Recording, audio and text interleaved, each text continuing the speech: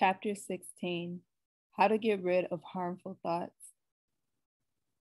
Harmful thoughts are all the thoughts that do not help you advance closer to your first self.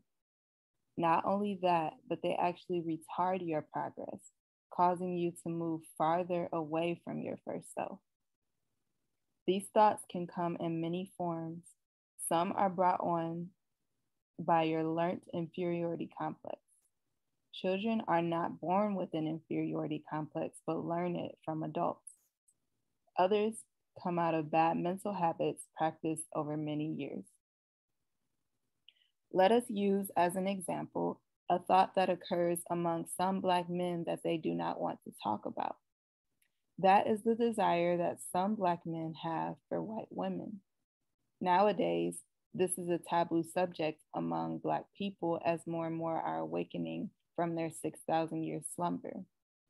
But still, some find it difficult to overcome this desire, and so they hide it, pretending that they are no longer attracted to these light race women. There is a very simple way to get rid of these thoughts and desires. All you have to do every time such an unwanted thought or desire forces itself into your mind is to say, I take this unwanted thought or desire, and I am putting it in a trash bag and dumping it in the most highest trash can. My higher self will get rid of it for me, and in exchange, will replace it in my mind with an infinitely more wholesome and balanced thought.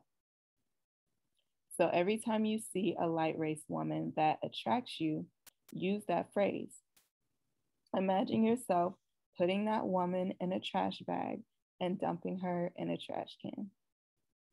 In exchange, imagine God giving you an infinitely more wholesome, beautiful, and decent woman who is meant just for you, i.e., your eternal soulmate.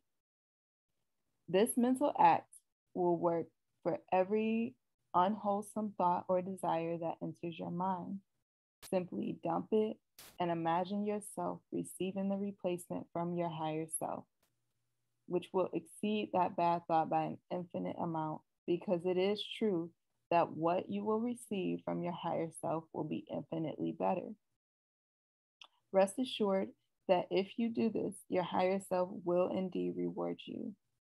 He or she is already waiting for you to do it. And I want to repeat that this always works.